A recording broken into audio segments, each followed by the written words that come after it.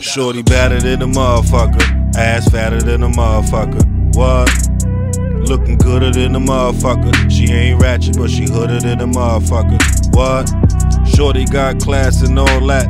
Almost good enough to make a nigga want fall back. Pussy good enough to make a nigga want call back. Not conceited, but she know that she all that. Shorty my type of thorough. Should throw you off with a few lines from out of town, but says she been to Brooklyn a few times. Don't really hang with chicks, but a click is a few dimes. Not much of a criminal, though she's committed a few crimes. Gear, brand name, body fit stacked in it.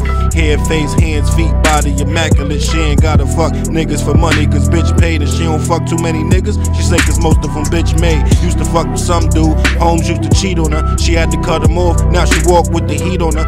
Shorty ring bell, swag on some Quasimodo shit. Baby stay fly in a polo and Manolo fit. Always speak the real, never for the Willy Bobo shit. Promise to ride till death on some Scarface and Manolo shit. She hard to get cause she don't trust no nigga. We been fucking for a while like it's a must. Go figure, huh?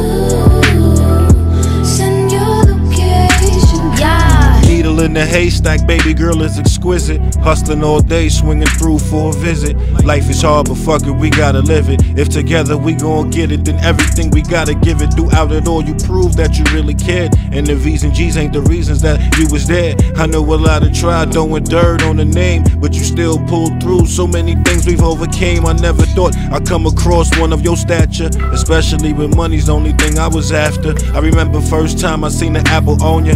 I was puffing that purple rain, you became my Apollonia. Genuine expressions become personal. As they come, you'll be the first to know. We both came from life hard to living life scarred. And when things get overboard, we play each other's lifeguard.